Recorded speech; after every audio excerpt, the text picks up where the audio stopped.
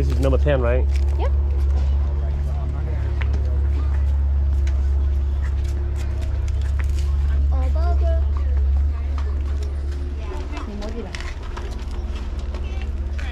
What is that? How are you guys all feeling right now? Good. Come on, you guys. I said, how are we all feeling right now? All right. Uh, has anyone ever been to the mystery spot before? No. No one. Oh, how long ago? maybe more than 10, 15 years. More than 10, 15. All right. Anyone else? All right. Well, I have actually some very exciting news for you guys. Okay, you ready for this news? Yeah. All right. So the news is nothing has changed here. Right? So you guys have nothing to worry about. And with that, we're going to start off with a history about the mystery. Way back in the year 1939, a man by the name of Mr. George Prather decided that he wanted to buy that flat lot of land down there, which is now being used as our parking lot and our garden area. However, the lumber company that was selling him this land told him that if he were to purchase it, he would have to buy that hillside up there and that hillside over there along with it as a package deal. Now here's the thing. George didn't want to buy this land, alright? He didn't like it. However, his wife fell in love, okay? She loved how it looked, how it smelled, the way it felt, and the people around it. So George and his wife did have a little bit of an argument about whether or not to buy this land.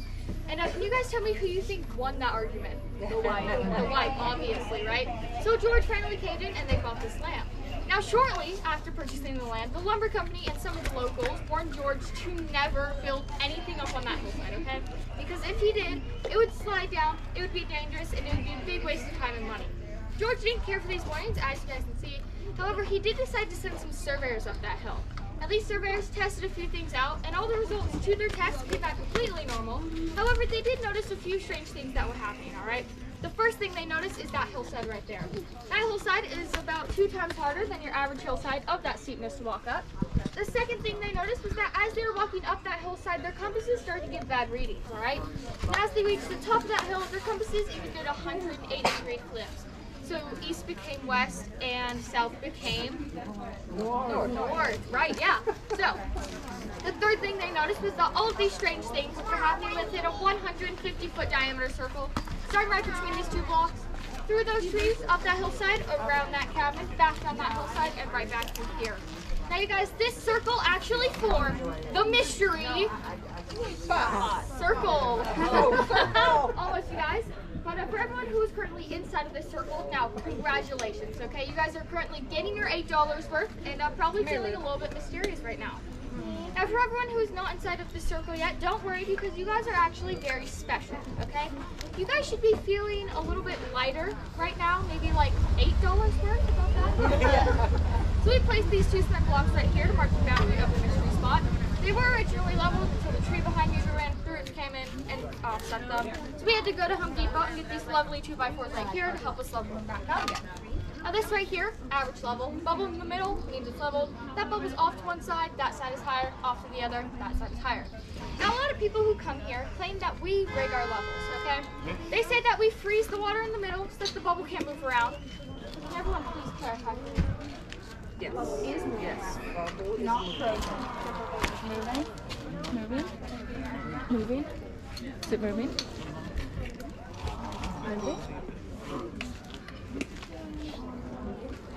All right, guys. So we all saw that bubble moving, right? Yes. I didn't hear you guys. Yes. All right. Now another way people say we rig our levels is that we shave a little bit off one side, making that side lighter, so that we can easily manipulate where that bubble goes. So if I take this level, and if I place down right there, now um, you right there, come on down. Now, can you tell me where's the bubble in that level? It's, it's close to center. All right, in the middle. Now, if I take it and place it right there, where's that bubble? Same thing, center. center. All right, now you may need to go over there a little bit. I'm going to take this level and I'm going to flip it upside down, just like that. Now, once again, where's that bubble? Also center.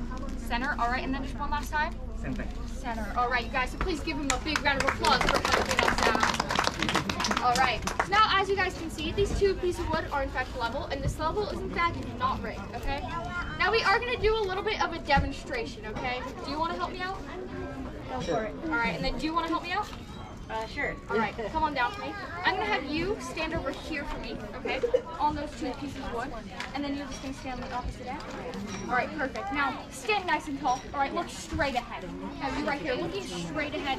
Where would you say your eyes are at right now? Um, staring right into his eyes. All right, right at his eyes. Where would you say your eyes at? At her eyes. All right, now can you guys please switch sides? All right. Now we'll notice something happened, right? Well, here, where are your eyes now? Above her head. Where would say your are at? Um, below. Below, like his chin. Yeah, they. All right, so guys, do we all see the little height shift that happened? Yeah. Yeah, so guys, please give them a big round of applause for helping us out. Right, so this is pretty strange, right? Pretty mysterious, but this in fact is no mystery at all. So as you are standing outside of the mystery spot, you are standing nice and tall, straight up and down. However, as you enter inside of it, you start to develop about a three degree lean, making you appear a little bit shorter as we saw. Now, as we get up that hillside into that cabin, it will become a full 17 degree lean. And speaking of that, in fact, everyone's attention to that Life magazine photo right there, hanging on our ticket shack.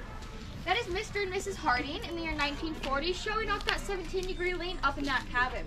Now, you guys, there is something very mysterious about this photo, and I know it's not how high the man's pants are, okay? Uh, but it is that woman's name. Now, we've done our research. It took us a bit. We finally got it. And yes, her name is in fact Eileen. Eileen. Yeah, so uh, if you guys enjoyed that joke, you're gonna love the rest of the tour, okay? Um, however, if you guys did not enjoy that joke, I just have to remind you, uh, you paid about eight dollars for this tour, right? So get ready for some eight dollar jokes, alright? and with that, we're gonna head up this hillside, so please follow me.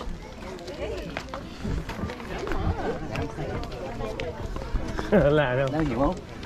Đang nhiều không? Nó. Một ngày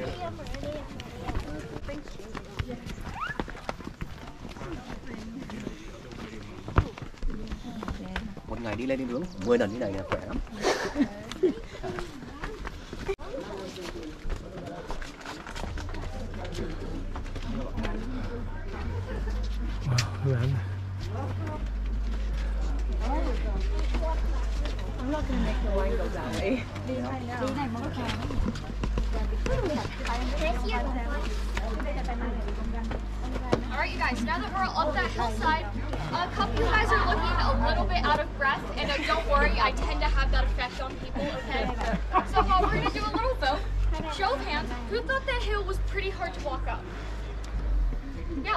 A lot of us, right? Now, uh, once again, who thought that hill wasn't that hard to walk up? Maybe a bit easy? Okay, I see a couple of hands. Um, what I'm gonna have you guys do for me is just run up and down the hill till you don't find it easy anymore, okay? so as we are walking up that straightaway, we are directly facing towards the center of the mystery spot. And those forces of the center were directly pushing down on our shoulders and our chest, making it a lot harder to walk up. As we took those two little turns right up to here, they seemed a little bit easier than that straightaway, right? And that's because we weren't directly facing towards the center of the mystery spot anymore. We were angled away, so those forces weren't directly pushing down on us. Now, we are about to head into this first courtyard, uh, but before we do, I do have to give you guys a little bit of a warning, okay? It is at this point in the tour where people start to develop some side effects of the mystery spot. These side effects do include uh, dizziness, nausea, uncontrollable laughter, and an allergy to shellfish, alright? But listen, you guys have nothing to worry about. You know, I've never seen anyone throw up in this first courtyard, okay? They've always done it down in the parking lot. Um, and these effects are not permanent. They should go away in about like six to eight months, alright? You guys don't worry about that. Alright, so now you guys can start to make your way up here.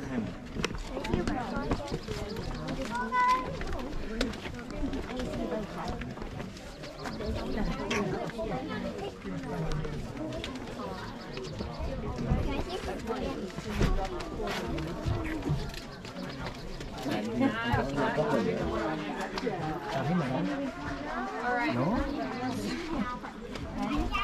guys, when we go into this courtyard, if I could just have, have everyone wrap around the orange fence, alright? You guys can follow me in now.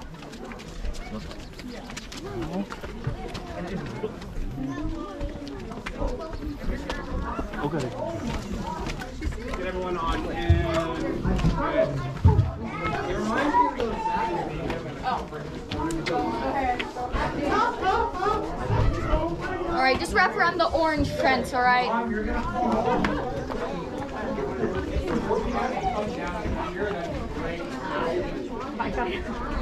guys can come down this way.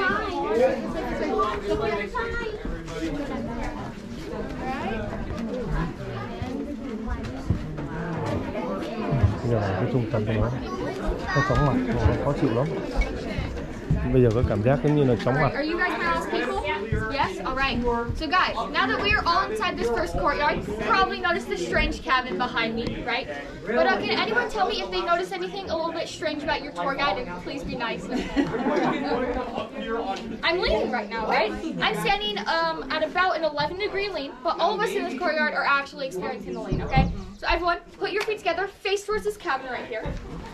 All right, now if you look down at your feet, you'll notice that they're a little bit slanted, right? A little bit off to one side. So then if we could all turn and face towards the parking lot. All right, now we have actually entered into the yoga portion of the tour. So everyone, please reach your arms up to the sky. Repeat after me, namaste. And then we're gonna bend down to touch our toes. Or I'm just kidding, all right? We're gonna spin around, face uphill for me. Now you guys, we are about to become to the spirit world, all right? So everyone, face uphill. Take your right hand, please go ahead. Take your left hand and stick it out behind you, all right? All right. Now, if you hold this pose for five seconds, you will start to summon the spirit of Michael Jackson, okay? Yeah. So, uh, if you guys enjoyed that thriller of a Michael Jackson joke, then you can just beat it, all right? Uh, all right. So now let's talk about this cabin right here. Uh, this cabin wasn't originally built like this. It was built about 20 to 25 feet up that hillside right there. However, during a storm, it slid down and stopped right here. Now, who can tell me what they think stopped this captain right here? The tree. What is your name, sir? Please give him a big round of applause, guys.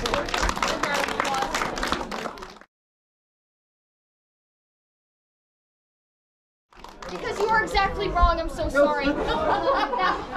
tree right there it looks like the most reasonable answer, right? It looks nice and big, tall, strong. That tree's a redwood. Redwoods are actually one of the fastest growing trees in the world, okay? They grow about two to three feet per year. That tree's roughly around 50 years old, while the cabin behind me is around 80. So if you do that math, tree can run there stop the cabin, right? Now, also, this land was originally owned by a lumber company. And you guys, what do lumber companies do? Cut down trees. Cut down trees, exactly. So there were no trees in sight when this cabin was built and when it slid down. Now we actually believe that right here is the very center of the mystery spot.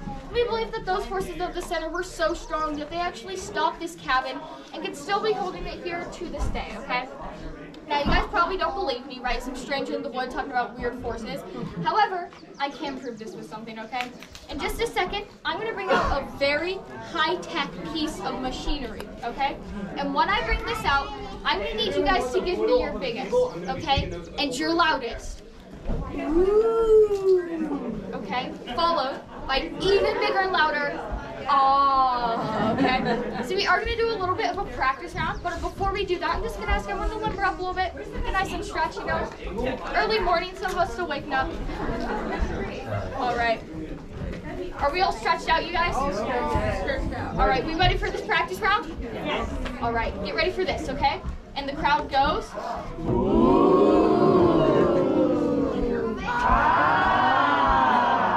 That's your guys' biggest know, we gotta confuse people down the parking lot, all right? We gotta make moms, dads, aunts, uncles, yes, you know, my manager. So when I bring this out, I'm gonna need you guys to be at least 10 times louder, all right? Can you guys do that for me? I didn't hear you guys. Yes. Okay. I present to you guys the one, the only, the world famous board of mystery, okay? And the crowd goes.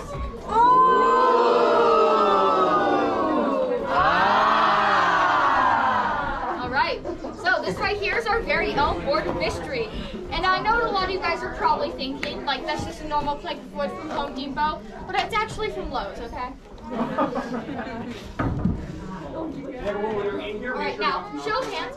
Who thinks that this side right here is the higher side of this board? Higher side? Okay, okay, a couple of people. Who thinks that the side in the cabin could be higher? Okay. Uh, who thinks it's totally level? Level.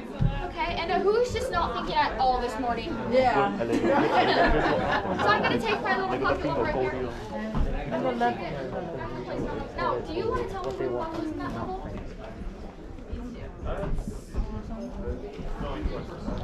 Going towards the left. So this side is higher? Which side's higher?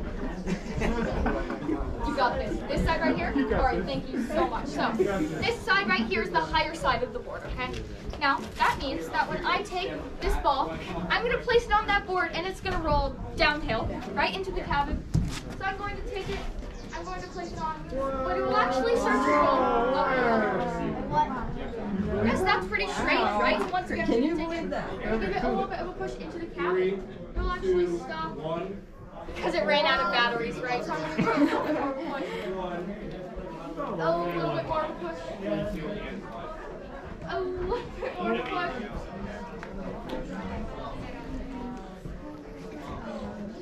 All right, and it starts to make its way uphill. Sorry, guys, my ball is a little bit dented. Uh, I've dropped it a few too many times. But maybe this ball right here could be great, right? Maybe there's like a magnet, maybe a motor, maybe a tiny hamster inside of it. So I'm going to take something that could be great. I'm going to take some of this bar. In a car, there's like a really good angle right here. I'm going to pour it onto this bar.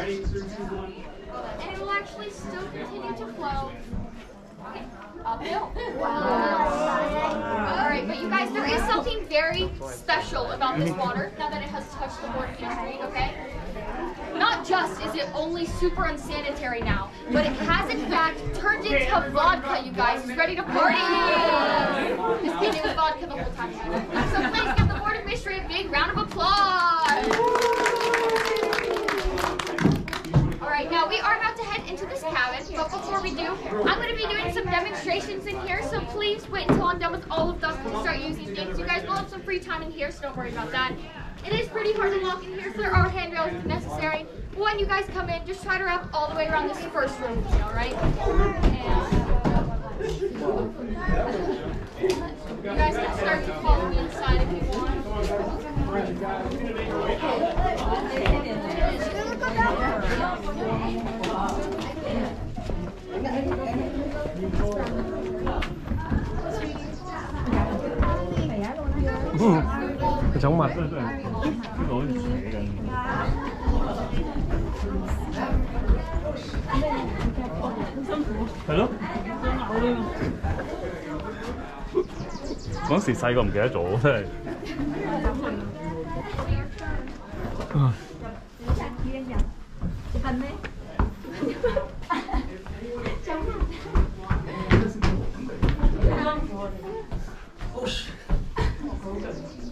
If you guys wanted to just wrap around a little bit to make space for everyone in the cabin.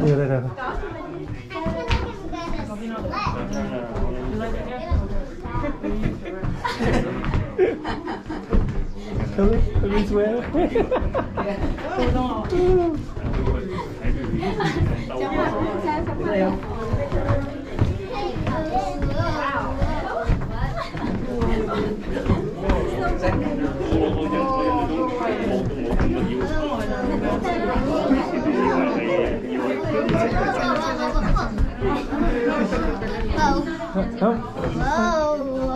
All right, guys, we're all gathering this first room of the cabin. You Quên probably thôi, a big lean in here, right?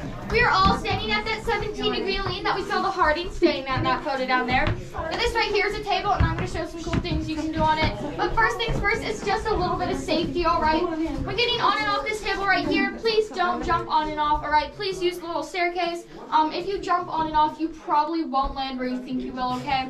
You guys can come on up here, and you can be like Superman, all right? You can be like the Rose from the Titanic. Uh, you know, you guys can even do sit, but just please don't drop your children, all right? and then there are those handlebars right over there.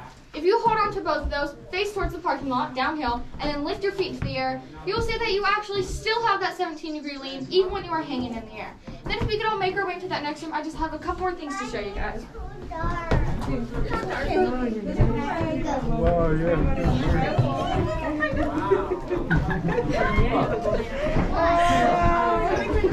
yeah.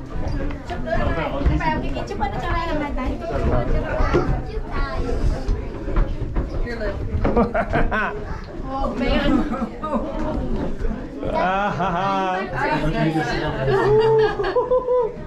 I don't understand. Easton, should we take, you want to get up there? Take a picture of you? No. It. chờ đó chờ đâu gì đó? Chúc nữa nhiều người nha clam em.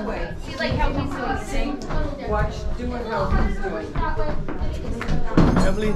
That's because the parts of the mystery spot are very strongly pulling this pencil on towards the center. Now a lot of people think that this might have a magnet in it. So my level has a little magnet right here. You can see that it works. But if I take this magnet and if I place it around this pendulum, you can see that it won't stick because it's actually a solid 35 pound ball of lead. Please be careful with it and please don't lift it, okay? I will. This right here. This right here looks like a normal ladder. However, you can actually walk up it as easy as a staircase. And then something cool you guys can do up here, if you put your phone on the wall, you can be like Spider-Man, alright? And with that, I'll give you guys about a two minute warning when it's time to start wrapping up and heading into that same courtyard. Be safe, have fun, please make sure everyone gets a turn, and feel free to ask me any questions.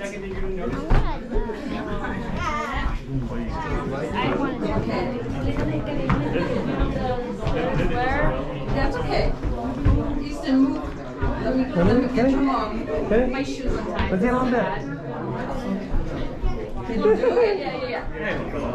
Ờ, lên đi Let, let me Chèo get lên từ this side. Whoops.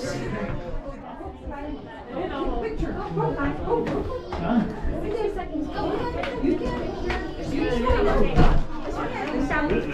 That's a good idea.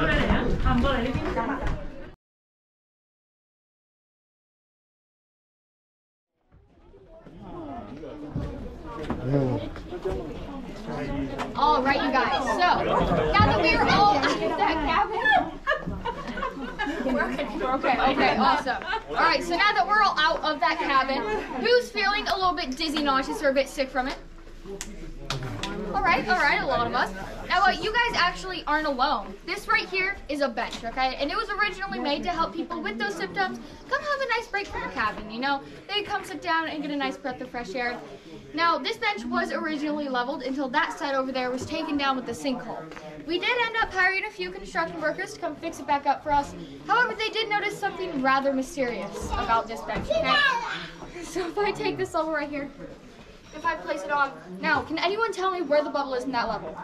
It's on the left On the left, right? Which means that's the higher side of the bench. Yep Now, it doesn't really look like that, right? So just to prove that that is uphill and that is downhill, I once again take my ball, place it on, and it rolls downhill, all right? That is, in fact, the higher side of this bench. Now, if that already wasn't strange enough, we are going to do a little demonstration, all right? Is anyone here about six feet tall? Okay. How tall are you? All right. How about like 5'10", 5'9"?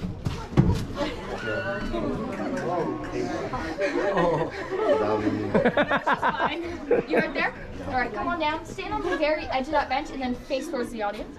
All right, now how about 5'8", 5'7"? 5'7", all right. You want to come on down? Stand right next to him. All right. How about 5'6", to 5'5"? Five five Oh, all right, you can go on stand right there. Now, how about five? Oh, you right there? All right, awesome. You can go stand up there for me. And then how about five two to five one? Perfect. All right, now, guys, we have actually created something very special. Okay, we have created the one and only AT&T service bar. all right, so now what I'm gonna have you guys do for me, if you right there and you right there could please switch spots. All right, and then if you right there and you right there can also please switch. And uh, if you want to feel included, you can just spin the circle, all right? all right, so now I'm going to ask you guys to look to your left and then look to your right and tell me what you guys now notice about each other. Right, would you guys say you're all about the same height now? Yeah. No, it's a little bit, right? Now this is very strange, considering you're about 5'10", 5'9". You walked uphill, but you got a lot shorter. And you're about 5'2", 5'1", and you walked downhill, but you got a lot shorter. Now, congratulations, the NBA has been called, and they are coming on over to the right? And uh, for you, sir, I think Willy Wonka may be looking for some new Oompa Loompas. All right, so now I'm going to ask you guys to do a little bit of a balance test for me. Please take your right hand, put it over your stomach. Please take your left hand and put it on your back. And then at your waist, please bend about 90 degrees forward. And that's about you guys. The closer I am to it, the taller I look, right? Then the further away from it I get, the shorter I start to look, right? However, we can prove this wrong with yet another demonstration, okay? Do you want to help me out? Alright, come on down. If you could just stand on the edge of that bench and face towards me. Perfect. Now on the fence behind me, I'm gonna take this level, okay, and I'm gonna start raising it up. Now when it matches your eye level, actually much coming to stop, okay? it uphill in this direction. Perfect. Tell me when. Than it is to push it uphill in this direction. So, Right here? Increase the the All right, now can you please walk all the way up this magnified, bench for me? towards this wall. Okay, so the ball's actually out flat. It could not be All right, and we'll notice that your eyes are now below where lit. this level is now, right? Now for something else Yeah, all right, guys, do we all see this? Oh, sure. Yeah, do you clarify? Yeah, all right, guys, so please give him a big round of applause. Alright, so by doing that demonstration, we did in fact disprove that it is not this roof line right here causing an optical illusion. Now, I'm going to change the subject a little bit and ask you guys to look up and around at all the beautiful trees around us. Now, we actually ended up hiring a few UCSC scientists to come do a few tests on these trees, and they came back with some pretty shocking news, okay? They came back and told us that all of these trees are actually female trees, okay? Now, we were pretty confused. You know, we didn't know trees could have a gender. So we did some further investigation, and we found out the, that these trees actually do not like to be called female trees, right? They do not like to be called lady trees, and they do not like to be called women trees. Now, these trees actually like to be called Miss Trees. All right, there's the $8 joke again. So now we are going to lumber on down to that final courtyard.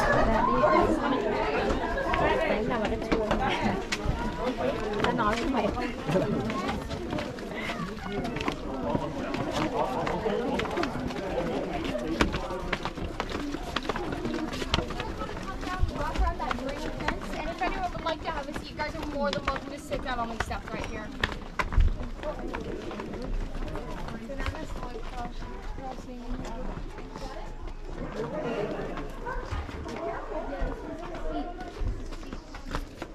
Alright guys, so now that we're all down here in this final courtyard, I'm sure some of us are kind of curious to know what's happening here at the mystery spot. And if you guys would like to know the secret, please raise your hand. Who wants to know the secret? All right, yeah, a lot of us. Um, I would also like to know the secret, which is why my hand is raised, because unfortunately, I actually don't know. It's above my pay grade. All right. Now we do have a few theories to maybe explain what's going on, and that is what this T stands for. This right here is our theory block, and the only way I can share with you guys these theories is when I'm standing on this T. Okay. So let's dive right in with our first theory.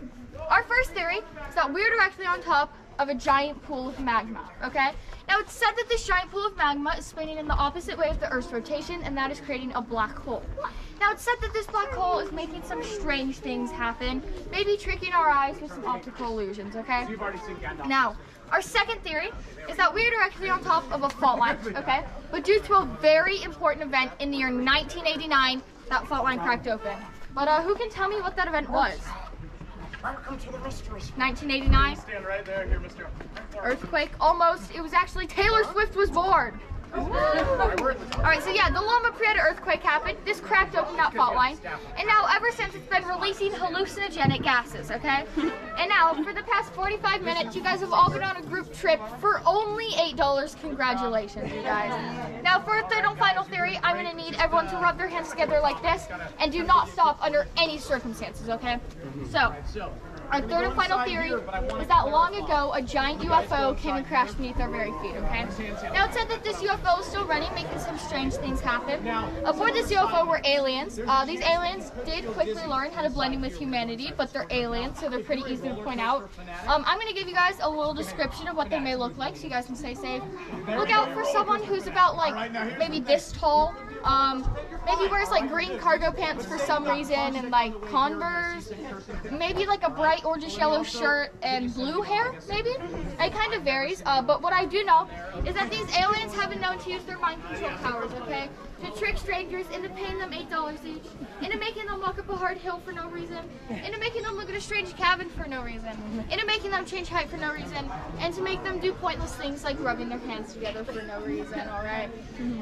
Now, um, listen, I know the real reason why you guys came here, okay? It's not to walk up a hard hill, look at a strange cabin, or learn about aliens. You guys are here for the one and only, drum roll please, mystery spot bumper sticker!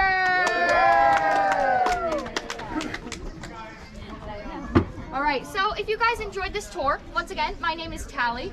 Um, however, if you guys did not enjoy this tour and I offended you in any way possible, um, then my name is Henry and I look exactly like the tour guide behind us, alright?